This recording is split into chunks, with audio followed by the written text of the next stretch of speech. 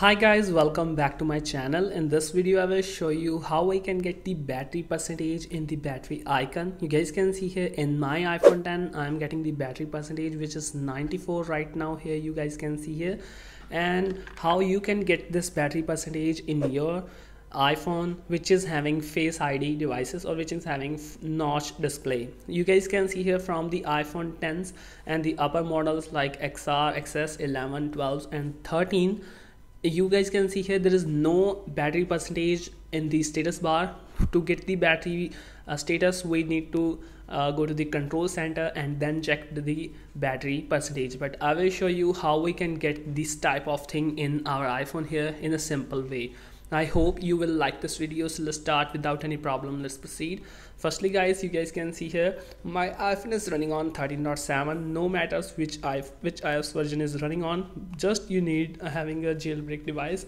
So firstly after jailbreaking device just go to the Cydia application here. You guys can see here if you don't know how we can jailbreak or how we can get the Cydia application you can check the description links. I will provide a link in the description that how to jailbreak our iPhone here. So after jailbreaking just search for the tweak which is known as battery plus. You guys can see here has the tweak battery plus after installing this tweak so just hold on let me reinstall this tweak you just need to simply click on install button here and now click on confirm icon. And now just respring your iphone here and there we go. Just hold on let it turn on.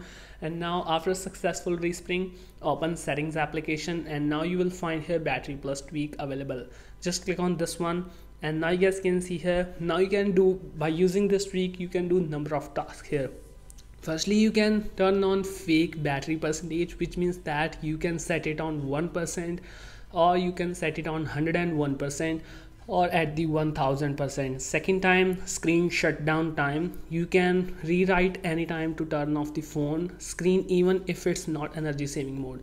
I hope you understand what is showing you. So this is the disable save battery which means that this will disable the low power mode. And you guys can see here I have turned on this show press present it means that it will show the battery percentage in the battery icon. It is mentioning at the above. You guys can see here it shows you the percent of your battery inside icon. So just turn this option on and respring your iphone again. Here is the respring option here. Just click on respring click on ok and now you will get the battery percentage in your battery icon here. So just have a look here and guys there is no problem in the vision that we can't see this battery percentage in the battery icon. It can be um, seen seamlessly and it's look impressive in the iphone here. So this is the simple fix. Hope you guys find this method helpful. Please guys share this video with your friends. Thanks for watching. Stay tuned. Thank you so much